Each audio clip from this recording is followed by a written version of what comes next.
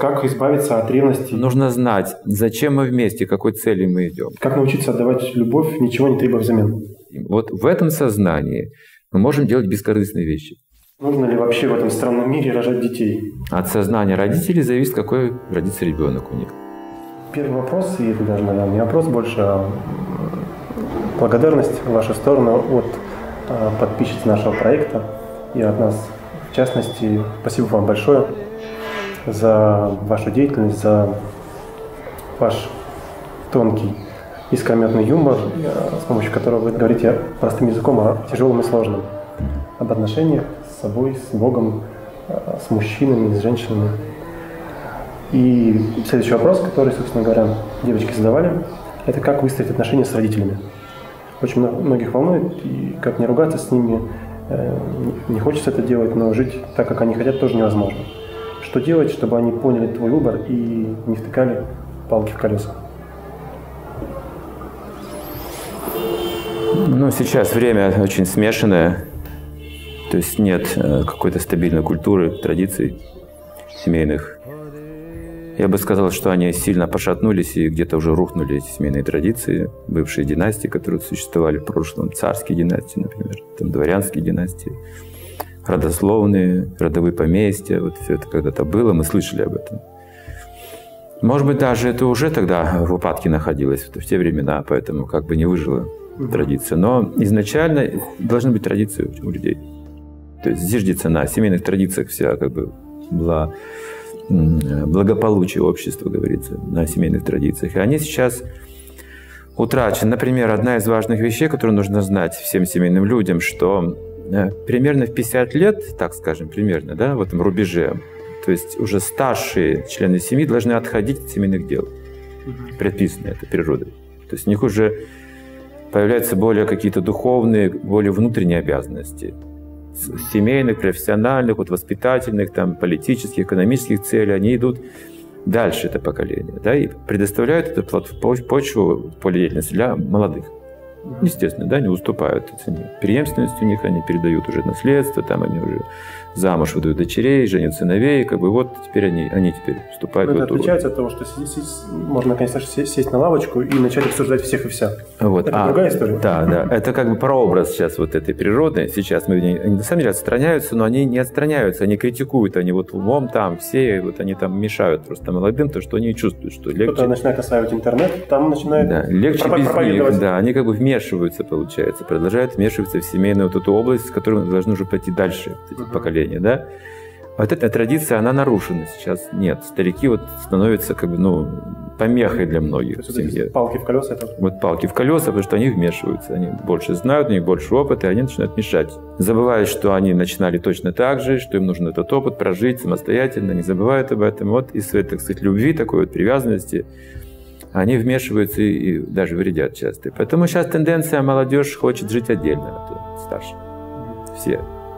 И пока эту традицию не восстановим, куда идти дальше человеку вот после исполнения семейных обязанностей? Он же не знает сейчас. Вот об этом, в этой области как бы жизни сейчас никто не знает, не слышал. Поэтому не знает, что делать в старости. Вот все, отработал. Детки родились, да? Отработал. Детки родились, там, выросли, э, пенсия, а что теперь делать? Коэффициенты. То есть у них нет занятия, да, нет занятия. Вот они не знают, зачем это все, для чего. Цели, смысла жизни, и дальше у них нет никаких планов. Для них это самих большая проблема, для стариков. Они бессмысленно проводят это. А они как ненужность свою чувствуют обществу, угу. ненужность. А, а на самом деле бессмысленность, бессмысленность, ненужность никому. Ну, старый человек, кому он нужен, говорится. Вот они обиженные, раздраженные, там, завистливые становятся, критикуют молодежь по этой причине, что недовлетворенные они старики. Угу. А они должны как бы идти путем уже мудрости, как бы путем как бы вот духовного углубления. Это уже отдельная тема да, для стариков. А молодежь, ну как строить им отношения? Сейчас вот приходится на расстоянии мир поддерживать. Каждый должен жить тогда в своих условиях. И мир на расстоянии. Ходить в гости, поздравлять там, с праздниками, с днем рождения. Как-то, ну, хорошие отношения с родителями нужно поддерживать. Какие бы они ни были, они родители все равно. Вот, вот все, что сейчас остается нам. То есть, э, можно сказать, географически даже разъехаться, как минимум там в другую квартиру, да, в Да, да, именно так делают. А если это не помогает, то иногда люди просто переезжают в другой город, насколько я знаю. Вот только что был э, у меня сейчас гость, который жаловался, что, говорит, мать уже там почти 90 лет ей. Слепнет, ну, то есть человек уже стареет, и нужна помощь, придется с ней жить, говорит, а жить невозможно. Она до сих пор меня критикует и вмешивается. И говорит, почему никто из родственников не хочет с ней жить, хотя хотят помочь, но не могут жить вместе. Угу. Вот конфликт получается, отцы и дети. Еще Тургенев написал, и решения до сих пор не нашли, смотрите. Ни психологи, ни ученые, нет решения. Потому что смысл жизни нужно понять, зачем жить дальше и как жить дальше. То есть семья – это не высший же как бы смысл жизни, это лишь этап нашей жизни, важный этап нашей жизни.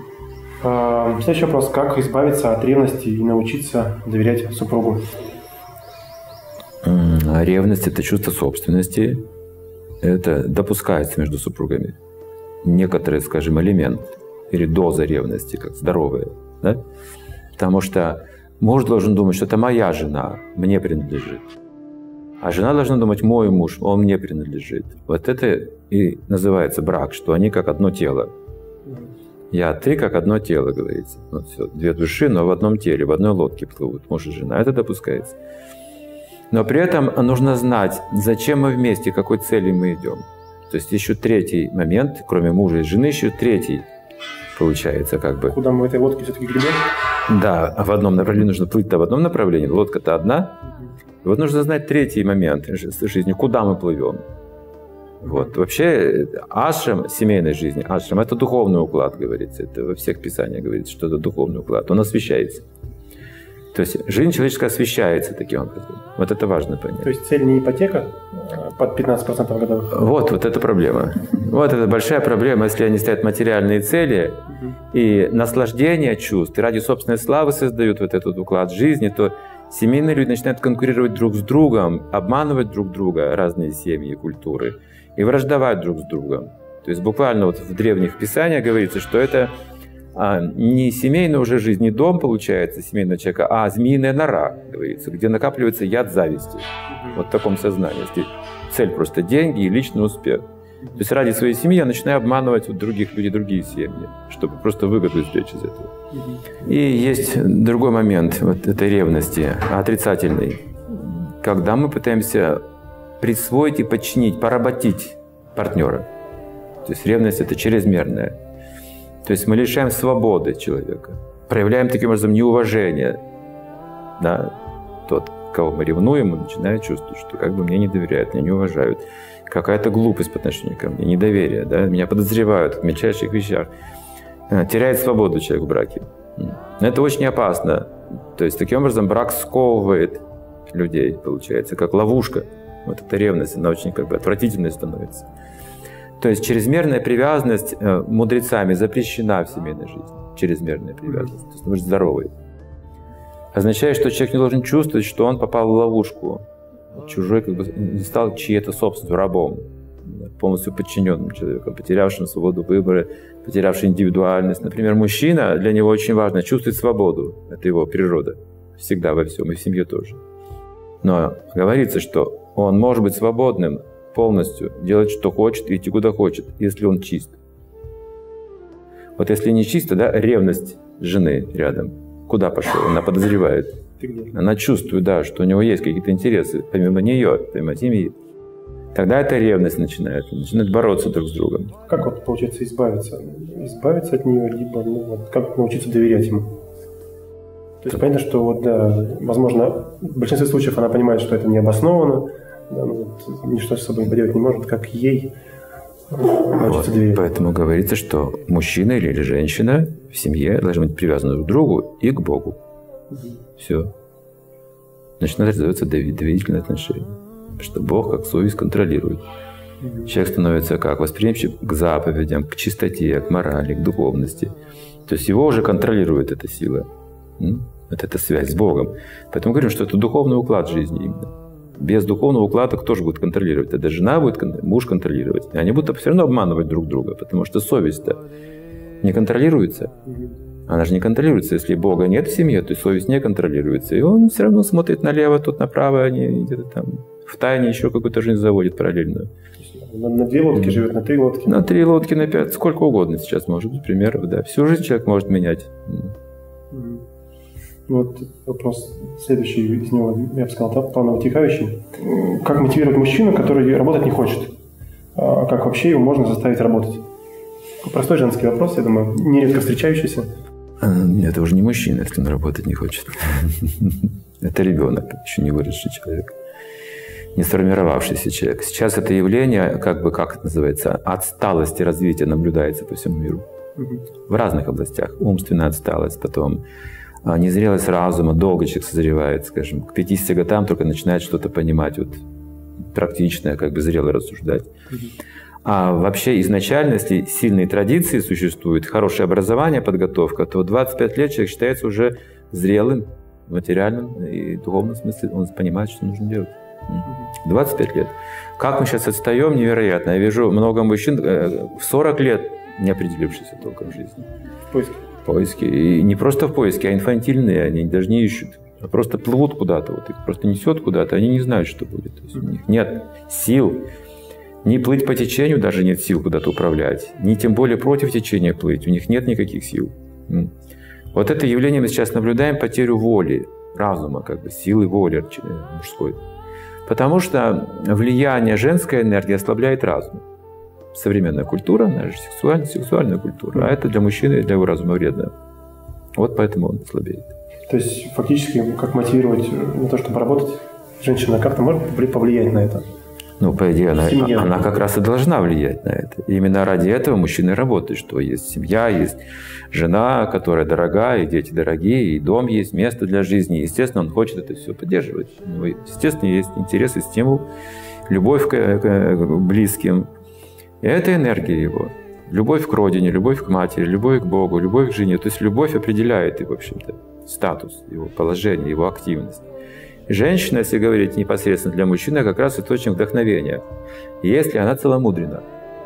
Именно. Если не целомудрена, она источник возбуждения и охлаждения. Потому что это уже в двойственности. Возбуждение, значит, потом охлаждение. То есть вот когда она возбуждает чувство, человек активизируется. Ради этого он может что-то делать, чтобы получить удовольствие от женщины. А когда надоедает женщина, он уже ничего делать не хочет. Вот, вот такие вещи, что человек заводит семью, и какое-то время там есть медовый месяц, как-то эйфория, какое-то счастье, они там планы строят, что-то хотят делать, есть энергия, есть энтузиазм. А потом привыкают, надоедают и ничего не хотят делать. Все, просто отпускает и все. Нет, нет энтузиазма. Женщина больше не вдохновляет. Все, он исчерпал отношения с ней быстро очень. Угу. Потому что их отношения нерегулируемые. Вот почему нужны эти вот писания священные, для чего они нужны? Потому что там есть регуляция здоровой жизни. Угу. Чтобы человек был всегда в нормальном тонусе, в энтузиазме, в как бы здравом еще рассудке. И к зрелости шел, к мудрости. То есть там не только говорится, как быстро плыть, да, а говорится, как долго плыть. Да, как до конца доплыть, достичь все-таки, да. Потому что в шторм можно погибнуть, можно на пробоину там наткнуться на какие-то утесы. То есть есть опасности в этой жизни. Более привлекательные лодки будут проплывать, да? Да, несомненно, более комфортные можно увидеть и так далее. Соблазнов очень много, поэтому есть предписания для каждого уклада жизни для ученичества, для семейной жизни. Потом после семейной жизни тоже мы должны знать, что делать. И перед смертью тоже должны знать, что делать. То есть это все прописано очень хорошо. А, следующий вопрос. Как научиться отдавать любовь, ничего не требуя взамен? Хороший вопрос. А тут именно должно быть связано с высшей целью жизни. Как есть такой японский стих Хокку – когда ты его прочитал, мне еще было там лет, наверное, 16. Как ты его и запомнил на всю жизнь. Мне понравился его смысл. Хок – это белые стихи японские, там и нет рифмы. Но это особый стиль, он построен на неожиданном выводе. Угу. То есть всегда это какое-то удивление. Женский стих? Вот. Неожиданный вывод. А, да, в этом смысле. И там э, в этом стихе, ну там много всяких стихов было, а вот этот я запомнил – по дороге не ссорьтесь, помогайте друг другу как братья, перелетные птицы. То есть вот смысл, да? Потому что мы же всегда имеем проблемы с конфликтами, с разногласиями. Сейчас целая наука конфликтология появилась вообще, которой раньше никогда не было. Люди прекрасно могли разбираться в этом.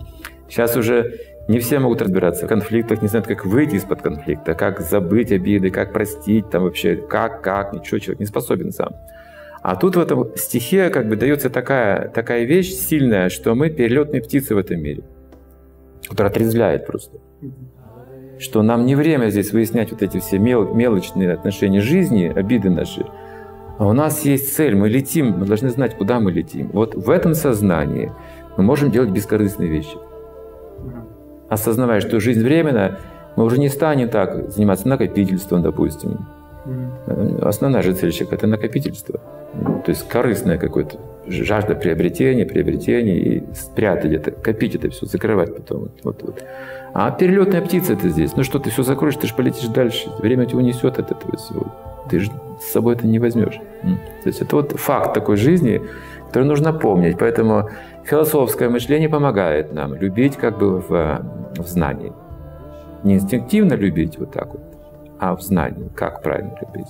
Лучше любить бескорыстно, потому что так обогащается сама душа человека. То есть это можно сказать такой, э,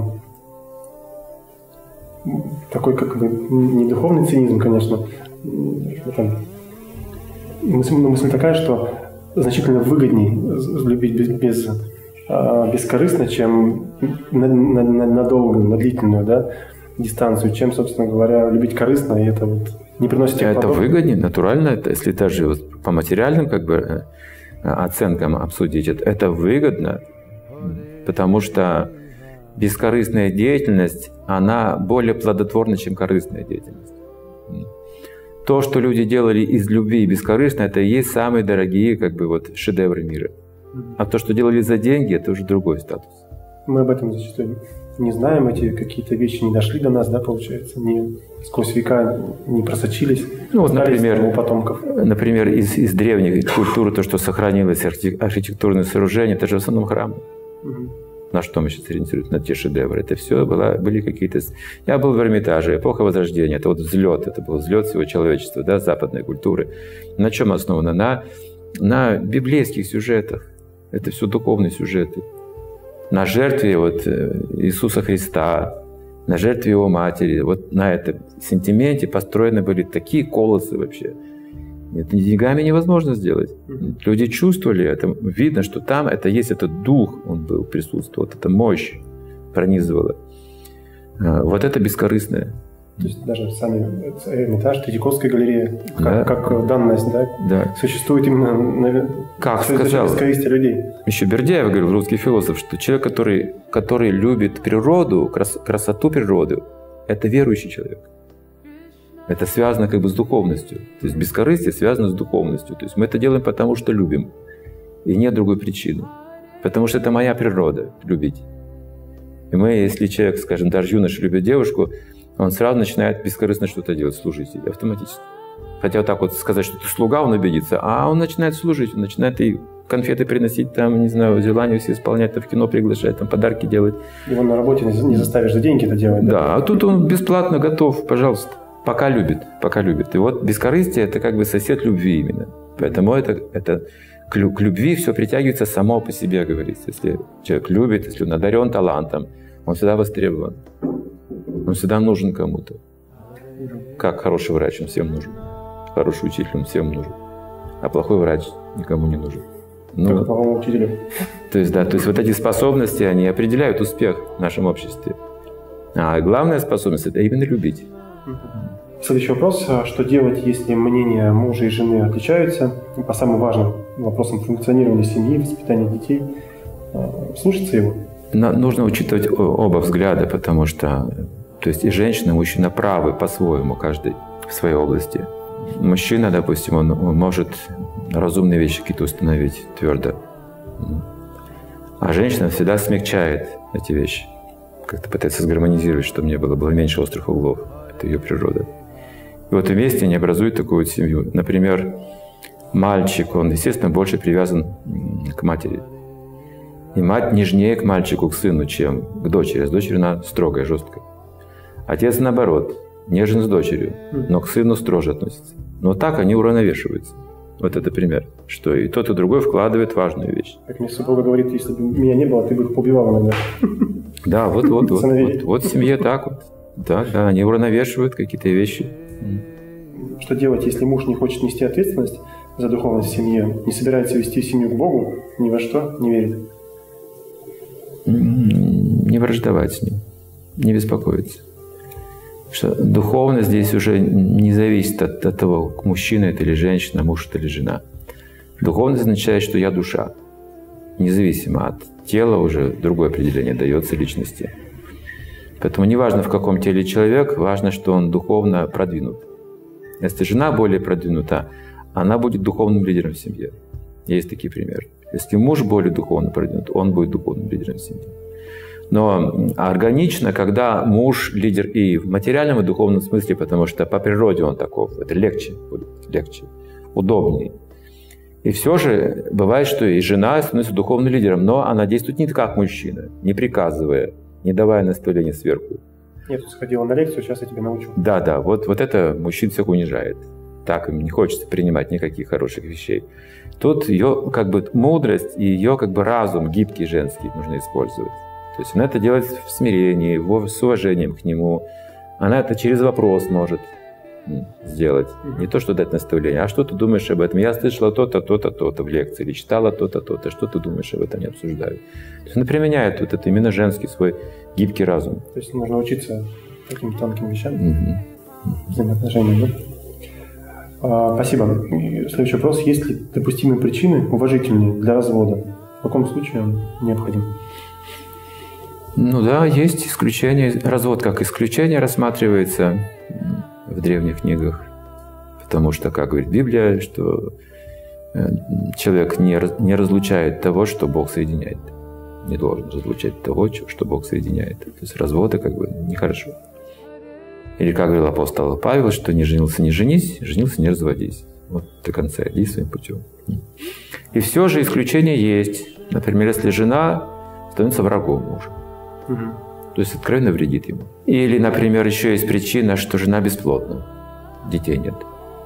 Угу. Тогда позволяется взять другую жену, что потом с тобой все-таки. Ради этого. Угу. Бывают еще случаи, когда жена изменяет мужу. Но тут не обязательно развод, говорится. Тут вот решает муж. Может развестись, может нет. Не нарушит ни того, ни другого правила. Не совершит ошибки. Это его желание. Но может оставить ее. А может простить. Это уже рассматривается индивидуально. Вот такие моменты описываются. А если относительно супруги, то есть в каком случае супруга может, э, как говорится, подать, подать на развод в, в идентичных? Есть такое утверждение интересное. Если, например, э, речь идет о духовной жизни, то правило есть такое – не служите падшим людям. Почему? Что служа кому-то, мы обретаем его качество, попадаем под влияние этой личности. Если человек падший, ниже нас духовно, мы ему служим, то мы деградируем вместе с ним. Перенимаем его привычки, менталитет, все перенимаем. Как инфекцию, да, заражаемся этим. Поэтому, да, рекомендуется служить возвышенную душу. Это святые, духовные учителя, там, скажем, вот, люди, которые мудрые. Мы им служим. Это хорошо. Так мы перенимаем их, их привычки, качества. И такое же утверждение я слышал есть по отношению к мужу. Если жена, скажем, духовно хочет прогрессировать, то там говорится, «А, жена не обязана служить падшему мужу. Вот если сейчас, конечно, это вот употребить, сейчас же все падшие с этой точки зрения как бы, в, наше, в наше время, то придется как бы раз, э, каждому разводиться. В принципе, статистика вполне себе, да? Нормально. Да, но падший означает, что значит падший? Что он был на высоком уровне а потом упал оттуда, то есть деградировал, стал оскорбителем, стал циником, скажем, вот это имеется в виду. А не то, что человек, скажем, еще не поднимался никуда, а мы считаем его уже падшим. То есть просто нужно помочь, получается, человеку, да, подниматься вместе. Вот сейчас задача такая, чтобы супруги попытались все, все как бы, свои силы, возможности использовать, чтобы помочь друг другу духовно продвигаться. Потихонечку толкает друг друга наверх. Да, да, постепенно. Заботиться нужно друг о друге.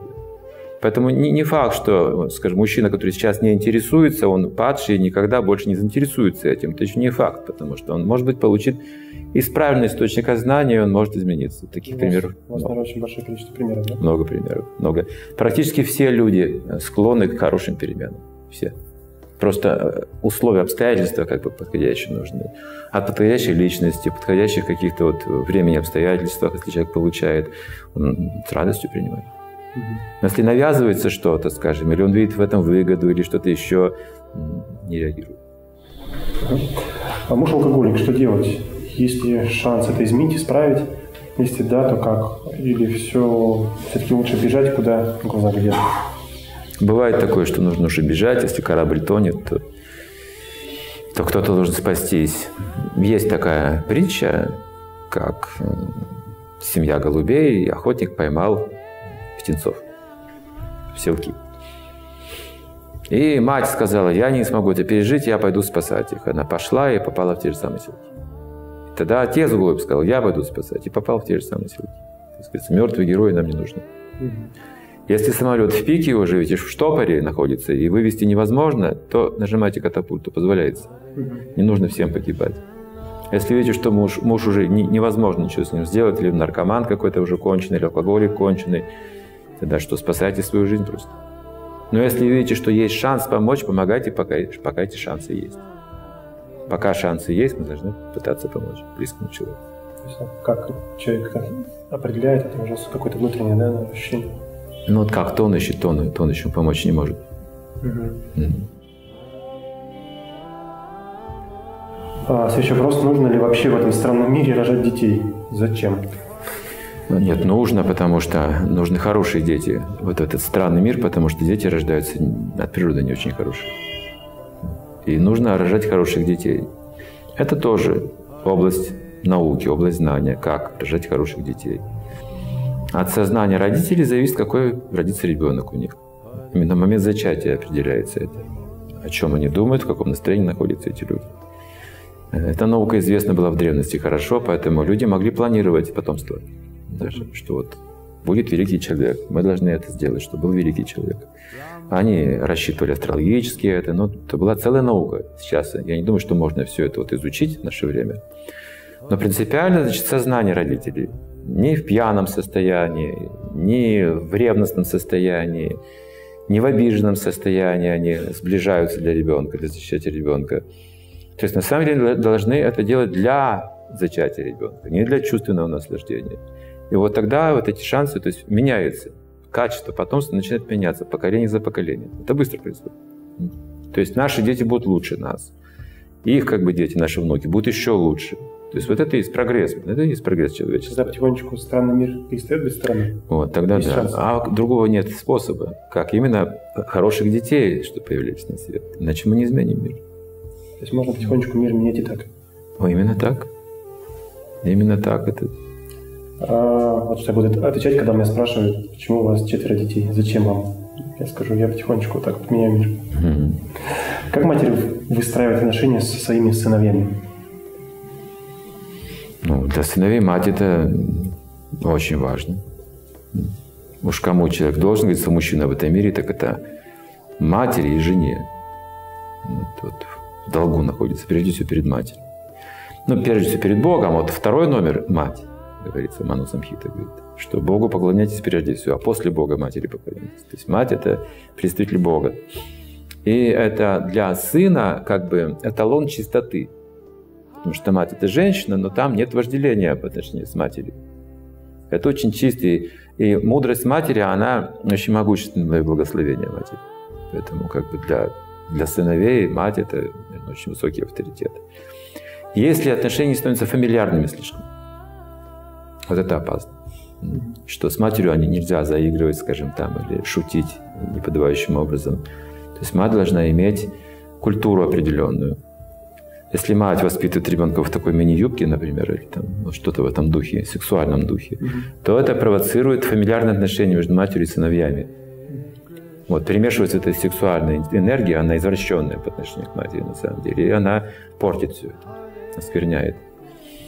И тогда это уже не совсем любовь, а какое-то развлечение. Спорить, огрызаться с матерью, скажем, это вот повышенное вожделение – и в древности знали, что это высокая очень культура, и воспитывали, как вообще обращаться к матери. Например, изначально в культуре дети каждое утро кланялись родителям, когда просыпались, указывая на их положение представителей Бога в семье.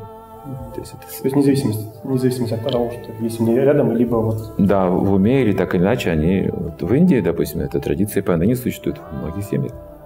Что мать, отец – это были представители Бога. Не все вопросы я задам, потому что у нас время ограничено. Но вот вопрос, почему не получается долго жить так, как в лекциях говорят? То есть какое-то время получается, и вот идет, а потом потихонечку все скатывается, скатывается. А есть земное притяжение, называется это. Притяжение. Вот если вы подбросите предмет вверх, он какое-то время летит вверх, потом останавливается, а потом начинает возвращаться обратно. Земное притяжение существует. То есть эта материальная природа, которую мы имеем, она нас снова стягивает вниз. Поэтому говорится, что человек должен знать мантру, потому что ум тоже подвергается это неземному притяжению. Мы говорим о возвышенном, ум пошел вверх. Хорошо же? Хорошо, замечательно, чувствуем, просто потрясающе. Какая лекция. Неделя, да. другая, да? Да, я вот в этой области как бы мне нравится, все хорошо. А потом мысли стягивают мои привычные меня снова вниз, верно? Если я какое-то время не слушаю. Люди, да? Да, поэтому нужна мантра. Мантра означает, держит ум на высоте, чтобы он не снижался, чтобы не действовал земное притяжение. То есть вот это очень важно. Без мантры, без мантры прогресс невозможен в области духовных знаний. То есть будет такой временный взлет, потом спад, взлет, спад. Такая спорадичная, неконтролируемая как бы вот наша жизнь. Когда счастье, когда несчастье, никто не знает, как, что это за законы такие, да, вот эти вот колебания вечные в нашей жизни. Мантра означает, что мы должны быть стабильно уравновешены, стабильно счастливы, стабильно переносить трудности, учиться, то есть быть готовыми ко всему этому. Это мантра. Это санскритское слово, но буквально означает очищение ума. Э, а молитва тоже может очищать ум, чтение священных писаний может тоже поддерживать ум на этой высоте, медитация также, для, для, чтобы ум был на высоте. Но э, главным образом это мантра, звук. То есть нужно понять, да, что это не горка, на которую ты заехал, дальше катишься по ней, да, а это какой-то такой вот ритуал вот с мячиком пинг-понга, где ты постоянно поддерживаешь, да, и вынужден работать каждый день, получается. Да, да, это практика, конечно. То есть, и в каждой религии, в принципе, получается, существует такая возможность держать это на высоте. Духовная практика, да, это главное, главное, чтобы не падать, не падать, не снижать. Свой ум не снижать ниже. Угу. А где вот взять вдохновение и энтузиазм для духовной практики? практики? Как развить вкус к духовной жизни? Обычно это откладывается на когда-нибудь потом, потом, потом, времени не хватает. Это можно понять. Современные люди очень заняты, это факт. И деньги нужно зарабатывать, то есть иначе какое счастье вы получите? Вы не будете обеспечены, у вас будут проблемы в этом обществе. Без денег сейчас вы никто. Это в советские времена без денег вы были и богом, и царем, кем угодно. денег не нужно было для этого. Нас отучили от денег, на самом деле. Угу. Вот это они добились. 70 лет? Да, за 70 скоро, лет мы... Скоро как 100. Скоро как 100 уже. Вот, мы не интересовались деньгами вообще. А сейчас все вернулось снова на капиталистические рельсы, что деньги определяют статус человека, его уважение в жизни, многое определяют. Поэтому, конечно, сейчас мы заинтересованы в деньгах. Но деньги – это энергия счастья. Не само счастье, а энергия счастья описывается. Лакшми. Энергия. То есть означает, что мы заработали деньги, это и есть само счастье. Это энергия счастья. Вот как вы их используете. А вот как вы используете деньги, зависит от вашего сознания уже и вкусов. Вот тут нужна духовная практика. Вот это самый главный, самый тонкий момент. Потому что люди страдают не от того, что они получают деньги, а от того, как они их тратят. Вот неправильно, когда тратят деньги, вот это и есть проблема.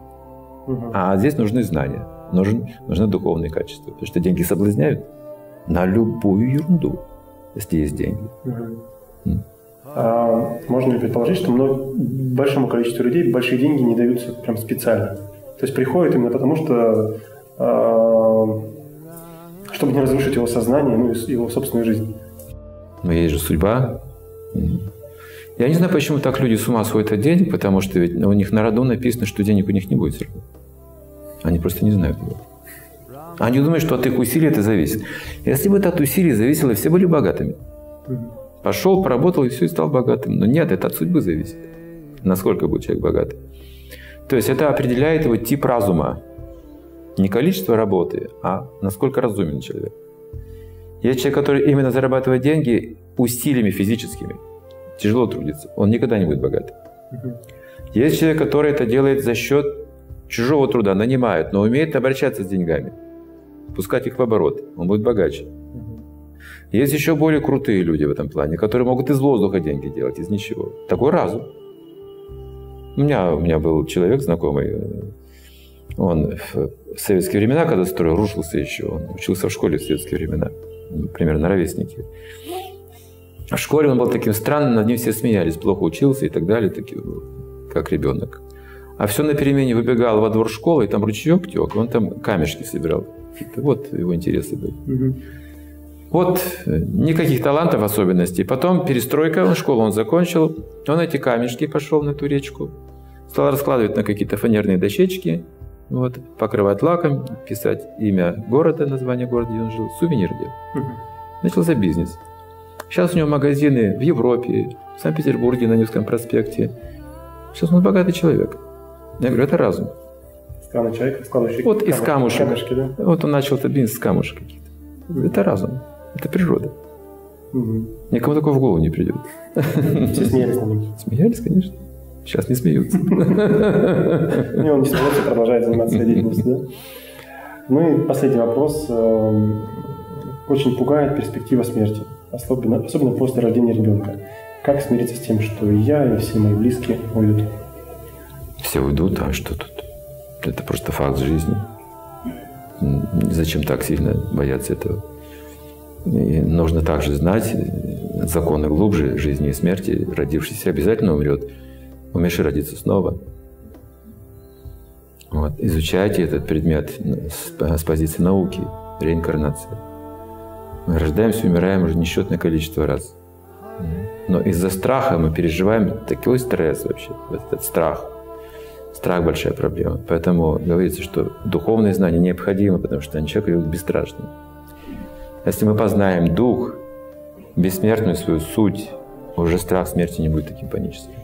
Это будет несколько волнительным страхом, как экзамен, скажем. Вы готовы к экзамену? Конечно, волнуйтесь, но вы готовы к экзамену. Это не страх, это что-то другое. Это волнение, потому что вы после экзамена получаете еще больше возможностей.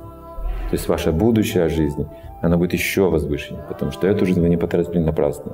Вот. И мы боимся смерти, потому что эту жизнь мы проживаем напрасно часто, бессмысленно. И вот это вызывает страх конца жизни. Поэтому нормально, все умирают. Просто вот когда порядок нарушается, естественно, что умирают дети, скажем, там, младенцы, вот это вот такие травмы очень тяжело переносить да, людям. Но такое сейчас случается тоже повсеместно. Это всегда такие моменты были. Нужно знать об этом ходе судьбы, времени, цикле рождения и смерти и набираться мужества, чтобы жить в этом суровом мире. В мире, мире смерти мы живем. Это факт. Спасибо большое за глубокий ответ на простые вопросы. Спасибо вам большое. Кришна. Спасибо. Спасибо.